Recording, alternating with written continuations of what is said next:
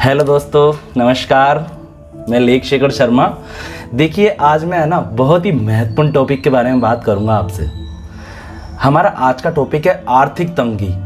आम आदमी के लिए वेरी वेरी इंपॉर्टेंट टॉपिक है ये। ठीक है? आर्थिक तंगी के बारे में तो आप सभी जानते होंगे। उफ, मेरे पास पैसे नहीं है फ़ीस भी भरनी है। ठीक है? महीने के एंड में तो कुछ बचता ही नहीं है। अमीर लोग खराब होते हैं, गरीबों का खून चूसते हैं। अरे, वो तो कितना शोषण कर करके अमीर होता जा रहा है। मेरे पास तो कुछ बचता ही नहीं है। आपने इस तरह की पचासों बातें सुनी होगी, ठीक है? मैं आपको क्या बताने जा रहा हूँ आज? मैं आपको बताने जा रहा हूँ तंगी में दिन गुजारने का असली कारण बताऊँगा आज मैं आपको। अगर आप तंगी में दिन गुजारने का असली कारण जान लेंगे ना तो आप, हो सकता है तंगी से बच जाएँ। ठीक है? कैसे? सुनिए आप मेरे साथ। सबसे पहली बात तो अगर आप चैनल पर नए हैं तो चैनल को सब्सक्राइब कीजिए, वीडियो को पूरा अंत तक ज़रूर देखिए। पसंद आए तो लाइक कीजिए, अगर नहीं पसंद आए तो आप मुझे अनसब्सक्राइब करके भी जा सकते हैं, ठीक है? लेकिन वीडियो पूरा देखें एक बार, ठीक है? देखिए आप, कई लोग ये दावा करते हैं कि वह तंगी में दिन गुजार रहे हैं और महीने का खर्च चलाने के लिए संघर्ष कर रहे हैं दोस्तों। आपने सुना ही होगा, अरे भाई, तंगी में चल रहे हैं, खर्चा ही नहीं निकल पा रहा है, हालत खराब होगी भैया, ठीक है? उन्हें अपने खर्च पूरे करने के लिए बहुत जूझना पड़ता है। क्या आपने कभी उनकी बातचीत सुनी है?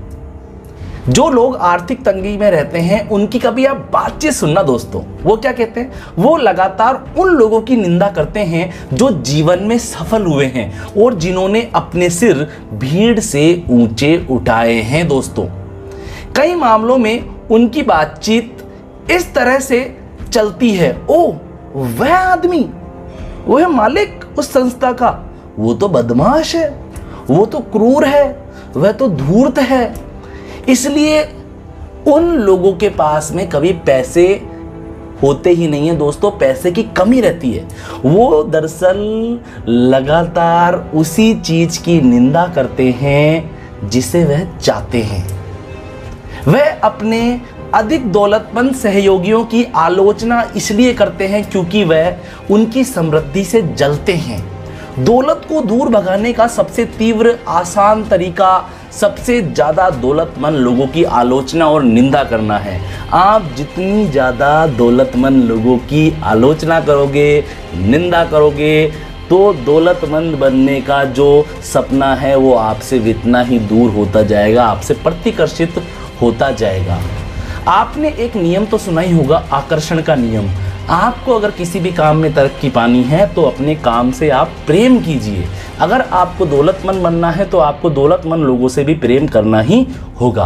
आप उनकी निंदा करके दौलतमंद नहीं बन सकते हैं, दोस्तों। तो जो मैंने आपको संदेश दिया है, हो सकता है ये आपके किसी काम आए और आप समझ जाए। मैं क्या कहना चाहता हूँ? सभी को राधे राधे सभी को जय श्री कृष्णा।